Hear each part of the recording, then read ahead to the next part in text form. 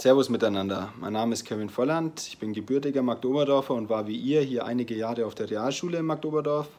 Ich bin sehr froh, dass ich Teil des Projektes Toleranz macht Schule sein darf und dass es in meiner Heimatstadt auch ausgetragen wird, finde ich umso schöner. Ich finde das Thema sehr wichtig, weil es mir auch tagtäglich im Profifußball begegnet. Ich habe einige Mannschaftskollegen, die aus anderen Kulturen stammen, aus anderen Religionen stammen und wir gehen sehr respektvoll miteinander um, wissen, wenn wir es nicht machen, haben wir keinen Erfolg. Wir müssen tagtäglich miteinander trainieren.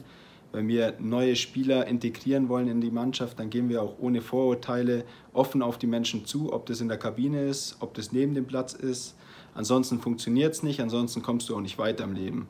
Das sind meine Erfahrungen, die ich über die Jahre hinweg gemacht habe. Ich wünsche dem Projekt sehr, sehr viel Erfolg und freue mich, dass ich im Juni vorbeikommen kann und im Namen der Toleranz macht Schule mit euch zusammen kicken kann. In diesem Sinne, alles Gute und bis bald. Ciao.